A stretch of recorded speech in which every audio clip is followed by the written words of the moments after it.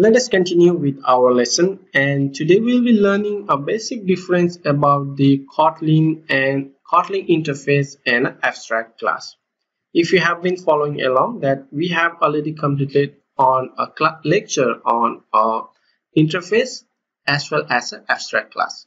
So if you have completed these two lectures by now you should be wondering or you may be a bit confused about all of these two interface and abstract class and uh, yeah that's uh, quite confusing and at the first but if you take a closer look on an interface and abstract class in Kotlin it's quite similar. The difference is that only a small difference is there which is a abstract property. So whenever we create uh, any property in an interface by default is abstract and we cannot have a non-abstract property over here Whereas in an abstract class, if you notice over here, we can have a normal property as well as an abstract property.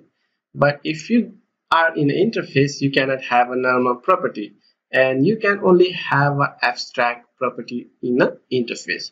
Rest of the function and abstract function is by, by default an abstract and here in abstract class we have to make a keyword of abstract to make a function as a abstract. And also we have to make a keyword make use of an open keyword on a normal function if you want to override this in a child class.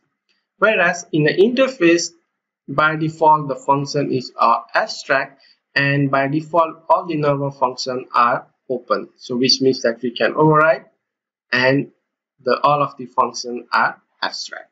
By default it's we don't have to make a make use of a keyword as an abstract over here. And uh, that's the main difference. And uh, for the property over here uh, if you want to expose it or if you want to override or if you want to set a property uh, set a value for this property we have to make use of a accessor method which is of getter uh, and setter. So we can just set, set a get over here and we can assign a value for each one. And say we can assign a value and uh, if you never have an accessor property over here if you never set the accessor for provide the accessor for your property by default it's an abstract and you must have to override in your subclass.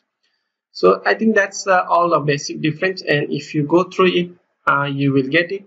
And uh, i would like you guys to go and practice it. Just make sure that you understand that by default in interface, all of the properties is abstract and the function is also by default abstract. Everything you write is abstract over here.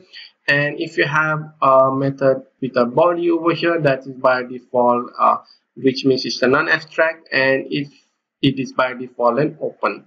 Whereas in our abstract class, we have to make use of an abstract keyword to make our function as abstract as well as if you want to override the normal function in a subclass then we have to make use of a keyword of a open.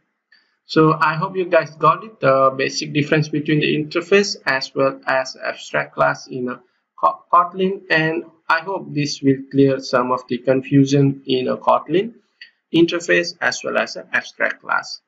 So we will continue with our lesson on our next video. Till then have a great day